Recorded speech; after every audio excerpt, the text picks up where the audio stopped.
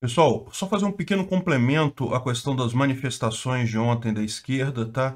É, falar sobre a questão da participação do Lula, da violência e mais alguns aspectos aqui, tá? Essa notícia foi sugerida por Korobeinik e por Menota Senpai.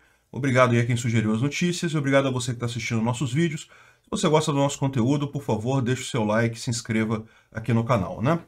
Pois bem, as manifestações da esquerda ontem, como eu falei, foram grandes, mas foram menores do que as anteriores. Né? As anteriores tinham conseguido atrair mais gente, dessa vez tinha bem menos gente e é, até onde eu vi, estava muito mais focada mesmo no pessoal pró-Lula, ou seja, não tinha esse negócio de frente ampla contra Bolsonaro, não tinha ninguém de centro, não tinha ninguém de mais ou menos direita ali, o negócio foi mesmo o pessoal pró-Lula e foram menores que as anteriores. O pessoal está brincando até chamando de manifestação. é, não achei que foi tão pequena assim não. Tinha bastante gente, aqui no Rio tinha também, vocês viram lá. Eu gravei, foi muito rápido aqui no Rio. Assim, começou e acabou rapidinho. Acho que o pessoal vai ali mesmo só para tirar foto tal, receber o sanduíche e ir embora, né? Mas é, tava, tinha bastante gente, coisa e tal. Tem umas fotos com bastante gente aqui em São Paulo, que é onde enche mais mesmo. É, dá para ver que tinha realmente gente aqui na, na, na, frente ali do, do MAN, mas de novo, se você comparar com as fotos da, da, da manifestação anterior, estavam bem menores. E, bom, é, e você pode reparar também que estavam claramente, é o pessoal da esquerda, não tinha, não tinha outra, não tinha gente de verdade, só tinha esquerdista na manifestação. É, repara que os jornalistas fizeram força para achar alguma coisa verde-amarela, coisa e tal, alguma coisa que não fosse totalmente vermelha aqui na manifestação. Ela caçaram gente que estava com, eh, né, com bandeira do Brasil e coisa e tal. Mas, meu amigo, não tem jeito não. O grosso da manifestação era isso daqui. Era pessoal uniformizado, era sindicato, era é, professor, é aquele pessoal que a gente já conhece mesmo. É, é, me deixou bastante tranquilo essa manifestação de ontem com relação à força da esquerda. Eles realmente não têm nenhuma. Porque, veja, que tem os 30% de esquerda que são esquerdista e não vão mudar de ideia, sempre tem, não tem jeito. Agora, o grande risco que se corria é que eles conseguissem atrair mais gente fora do pró-Lula ali, do, do pessoal esquerdista mesmo. Não conseguiram, só foi mesmo o pessoal pró-Lula, o pessoal da esquerda mesmo, e em número menor do que da vez anterior, mostrando que realmente eles não têm apelo é, nenhum, né?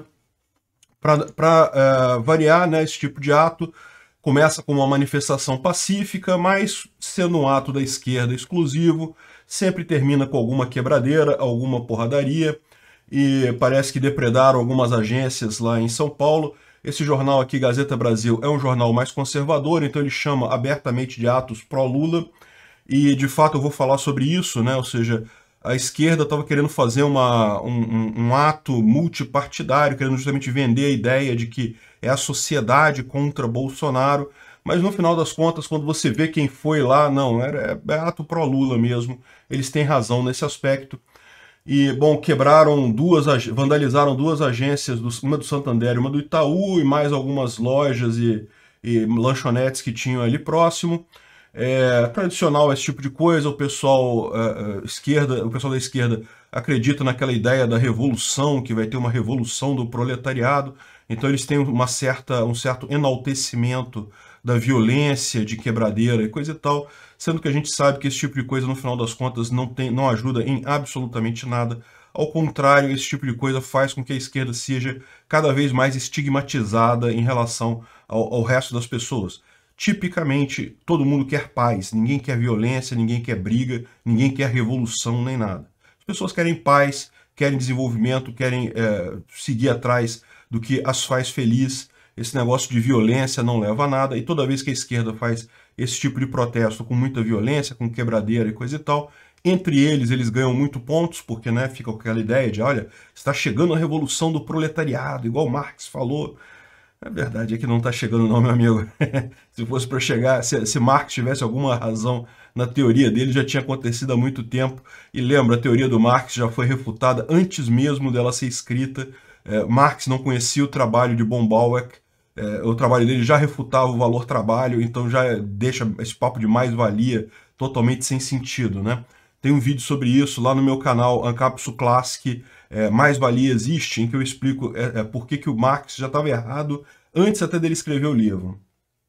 Mas enfim, É, para a esquerda não tem isso. Os 30% de esquerdistas vão continuar achando que eles estão com razão, que a revolução vem aí, que não sei o que lá, que revolução é uma coisa boa, e acabam com esse tipo de situação se isolando no, no espectro político.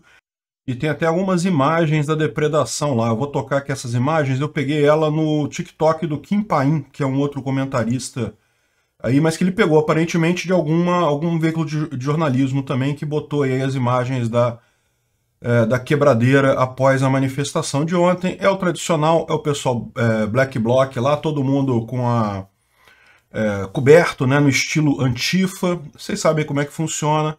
É aquele padrão de sempre da esquerda de é, é, ocultar todo mundo, botar... Apesar de que tem uma cara de alguns ali que aparece que dá pra ver, né? Enfim. Então, no final das contas, é aquilo. Foi uma, uma, uma manifestação puramente da esquerda. Lula poderia ter ido, ele não teria vaiado, sinceramente.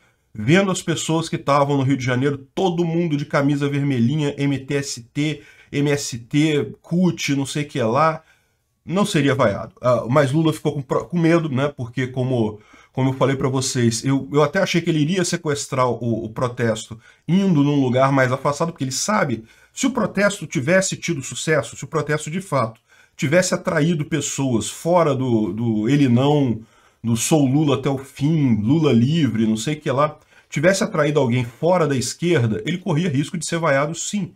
Porque se tem muita gente fora da esquerda que é contra Bolsonaro, essas pessoas também são contra Lula. Pelo menos eu não vejo ninguém, tirando talvez o MBL e o PSDB, que sejam a favor do Lula, é, numa disputa entre Lula e Bolsonaro, ainda sejam a favor do Lula, né? Então, no final das contas, é, virou um protesto pró-Lula mesmo. O Lula poderia ter ido sem problema nenhum. É, a covardia já é um traço conhecido dele, a gente já conhece, já sabe que realmente ele tinha muito medo de ser vaiado e coisa e tal.